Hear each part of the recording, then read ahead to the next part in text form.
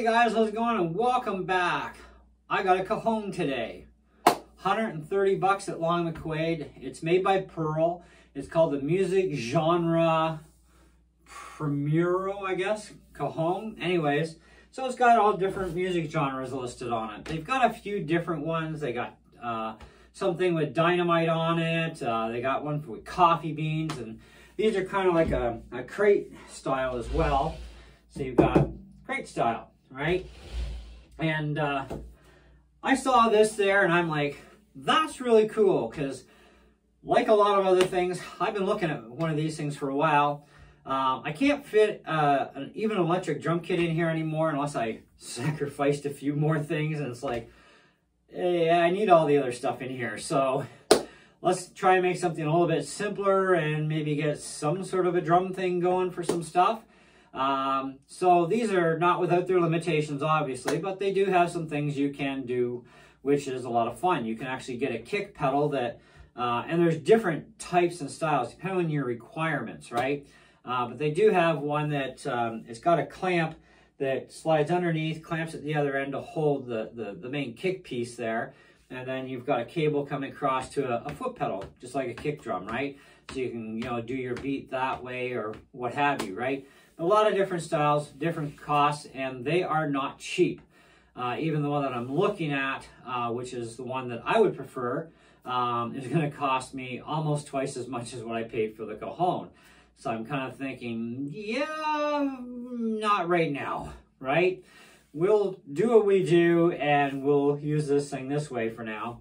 And uh, so these things don't all sound the same. So you really do have to go to a music store that or do a lot of YouTube research if you're going to order one in and figure out, you know, what you like the sound of from whatever you hear on a video, right?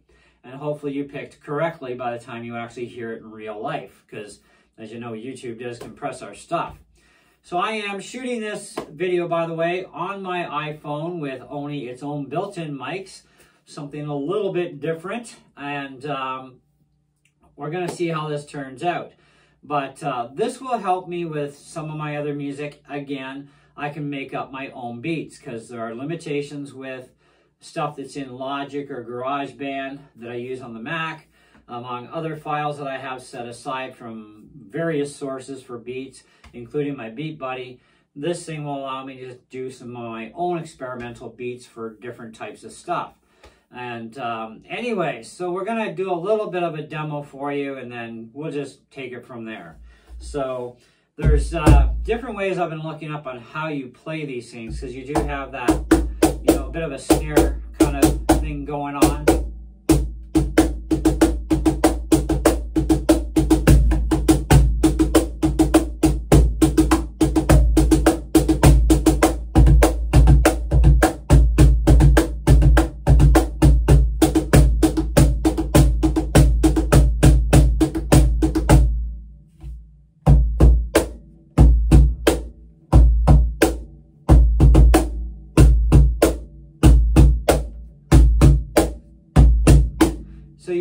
Get different tones. You can even um, do this thing. The girl called it a cricket or something, I guess. There's probably something more to it that gives it the whole cricket thing that she nicknamed it. But I also saw another video where a guy shows how to do this and using your heel.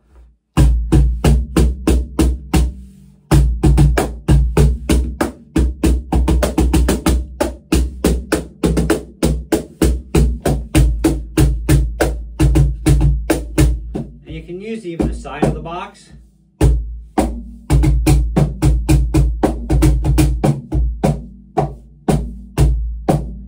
And you can use your knuckles and fingertips. And depending on how the springs are set up, depends on how sensitive even this area is right in here.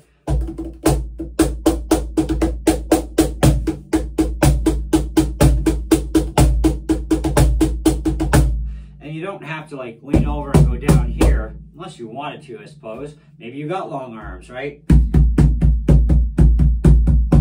And if you cup your hand, it kind of makes a little bit more thumpy hollow sound, but flat,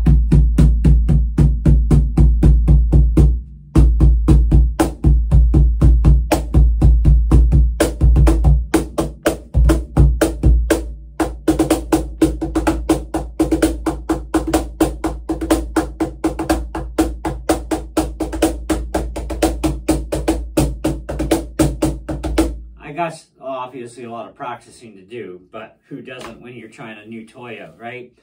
And uh, anyways, so this was not something that uh, was able to be rented from Long McQuade because it's brand spanking new and it's also not on the preferred rental list. Um, had it been new and on the preferred rental, I could have rented it, but not rentable. Besides, 130 bucks took up the rest of my budget, but uh, that means just my wireless uh, guitar kit I wanted. It's going to have to wait another month, but hey, I don't care. Because um, this gives me something to have more fun with.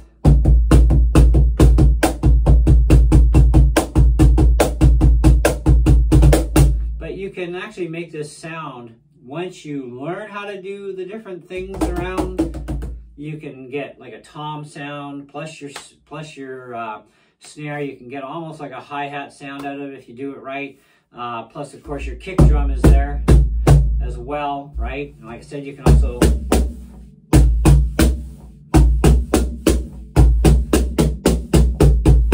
do the heel thing, right? Um, all kinds of little things you can do. Now, there are many different styles of uh, cajones as well. There's one that's actually like, kind of like a T-shape. Uh, so it looks like a tabletop surface, and then it's got like the box in the middle down below, and that's a funky one. I gotta look that one up on YouTube and see how that one's played. Um, not something that I would buy though, because it's kind of just not in my interest category. I like this thing, I can just sit on it, and it's great, and it keeps me up, and actually my feet sit nice and flat too, so it's like perfect height, you know? But um, yeah, so there's a, a porthole in the back of these things that allows more of the sound and the airflow for the bass to really throb out of there, plus the main sound as well. Um, so yeah, you can even buy cajon kits and build your own. Um, they're about 80 bucks, you know. Now keep in mind, these are all Canadian prices. Um, but for 80 bucks, you can buy a cajon kit, build your own. And it's like, I'm kind of giving that a little bit of thought maybe for a summer project. Uh, maybe I'll buy one or two of them and build my own and maybe do a little bit of mods on the one to kind of make it a little bit more unique and then the other one just do my own thing. Um, I don't know how physically big they are for widths, but if I could actually pull it off and kind of somehow attach the two and have, you know, one with springs and the other side without and maybe make another little modification somewhere else, kind of make something unique out of it, right? Um, that'd be kind of neat, but um, we'll have to see what happens. But I like this. This is kind of a, a me thing, you know, like it's got a lot of different genres of music on here. Um, at least two or three that I'm not really into, but the majority of them, yeah, right? Um, and it has kind of that antique vibe look to the thing as well. Uh, and it's got a neat little burst um, from the top where you sit, um, which I kind of like. And um, I just thought, man, this is so neat. And it goes even with the wood, uh, the wood color of my floor in here. And it's just, it's different. The only drawback to this, I can't play this and my guitar at the same time. Uh, other than if I have the bass kicker, um, then I could actually pull it off. Um, and I'm thinking if there's a way to uh, maybe get like two of those those bass kickers, uh, one for each foot, then I could actually have one actually hit up here when the other one's hitting down below for the bass. And then I could actually kind of do that and play guitar, kind of a one-man band kind of thing, you know what I mean? Um, that could actually work out. Uh, the other thing is other additional little gizmos. This is actually a, um, a foot tambourine. So I could actually take this and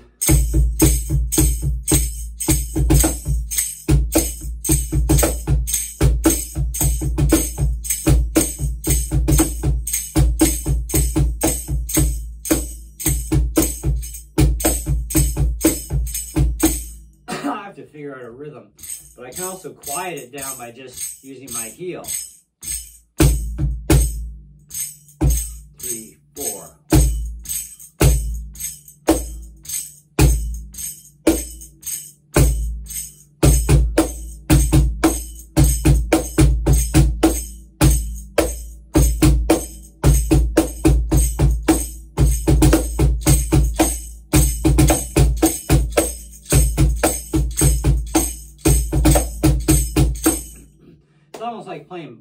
But a little bit differently, right? Not quite the same, but anyways, that's the fun and excitement.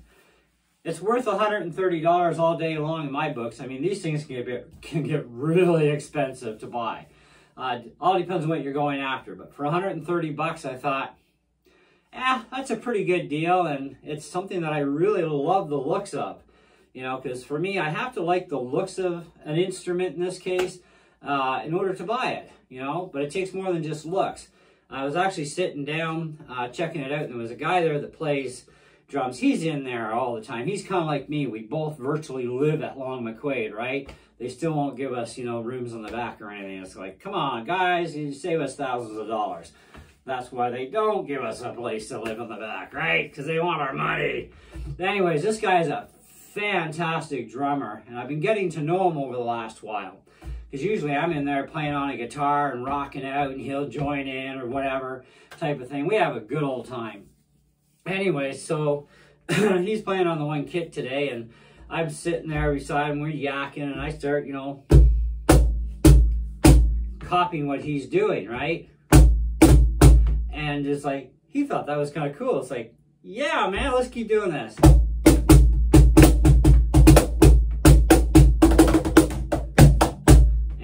Missed it a few times, but you know, because he'd do a roll all of a sudden, so I have to try and listen for when that was going to happen. So it was kind of fun. So I was doing, you know, and, and it made it easier to have somebody on the drums and I'm playing along with them with the same kind of thing, and that was fun. But um, yeah, these things are fantastic. So even if you're like busking and stuff, and you know, maybe you know you play this and somebody plays the guitar, right? And you can just you have a bit of a beat thing going, right? Uh, if you're doing, I don't know what kind of music, whatever you want to do, but a familiar beat to me would be, um,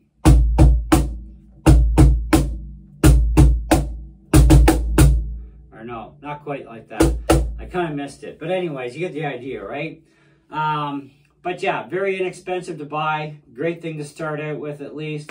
Um, I don't really think there's too much of a thing where they call beginner or advanced models of these is kind of like what's your wood preference, how much do you want to spend, what's your sound preference even, because they don't all sound the same. They're different woods and stuff, right?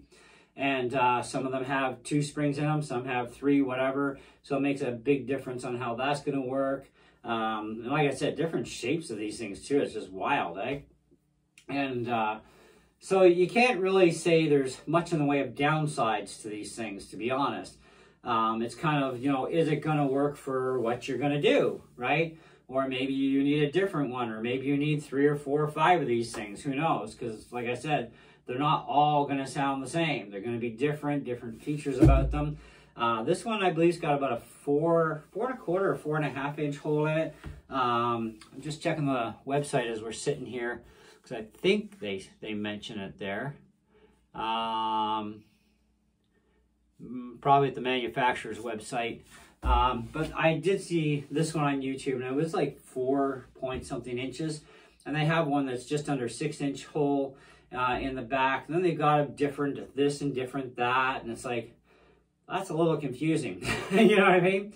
Um, but it, it's it, it's best that if you're looking at something like this, go to your local music store wherever you are and that carries these cajones and try a few of them out and see, you know, like if you find one that you like. And even check YouTube videos. So if you're after something specific and you know you like that, then get them to bring one in if they don't have one in stock. And then, you know, before you pay for it, try it make sure it's got that sound. Um, and uh, you should be all right. So, um, really no real negatives to report uh, on this. Um, I just don't see where there's any drawbacks as far as, you know, build quality and construction. It seems to be fantastic. Um, you know, the sound, I like the sound of it. So that's not something that I would change. I like the style. I like the silk screening they did on the front. Um, the whole thing, right? Uh, so I kind of really like this thing. But nothing's perfect, right? So you're not getting a five star out of me ever. But I will definitely give this a four and a half for sure. I think it deserves a full-fledged four and a half. highly recommended if this is what you are into for this kind of machine. Do you like this genre of it? Or would you much prefer TNT or the coffee beans or some other model? It's up to you in the end. Like I said, they're not all going to be the same. They're not all going to sound the same, you know, because they just don't, right? So you got to kind of pick the one that has the tones for you that you would want to play on, right? Because, I mean, you can do stuff like this and change things too, but, you know, and you can play the side of the box as well.